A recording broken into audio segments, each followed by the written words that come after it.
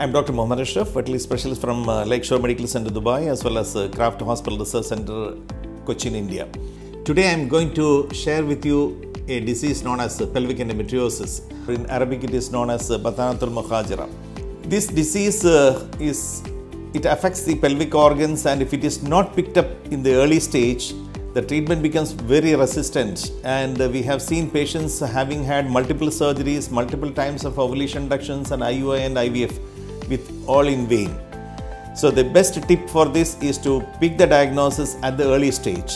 Normally, women will have cyclical pain that lasts for a few hours and it will be pertained only to the lower abdomen. But in uh, the pelvic endometriosis patients will have a altered pain pattern that pain radiates to their legs, back, and instead of hours, it, it uh, stretches to days and uh, weeks.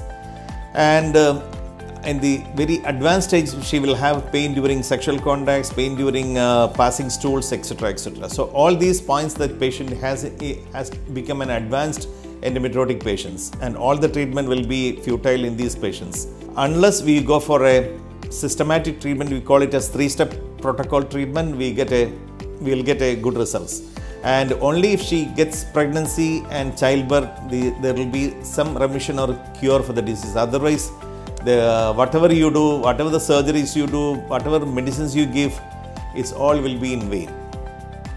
So if you have any of these symptoms do come to any of our centers. You can visit our uh, instagram page facebook or uh, websites